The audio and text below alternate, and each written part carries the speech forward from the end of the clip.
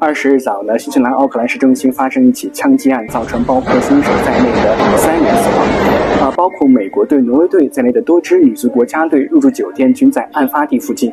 新西兰总理希普金斯和体育部长格兰特·罗伯逊均表示，女足世界杯的赛事将按照原计划进行。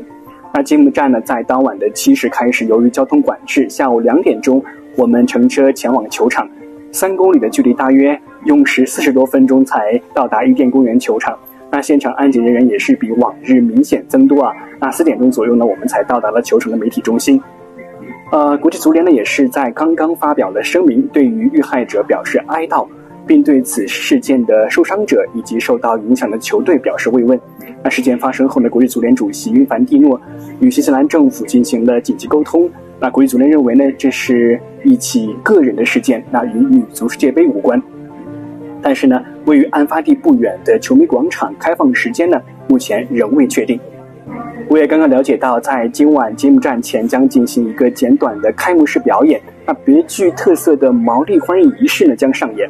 据组委会透露，今晚揭幕战将创下新西兰足球赛事的观赛人数纪录。今天呢，奥克兰的温度较低，气温大约在十度左右，天气阴沉，刚刚下过了一场大雨。目前呢，已经有观众抵达了赛场观赛。那本届女足世界杯的口号是超越伟大，希望这届女足世界杯赛事能够顺利举行。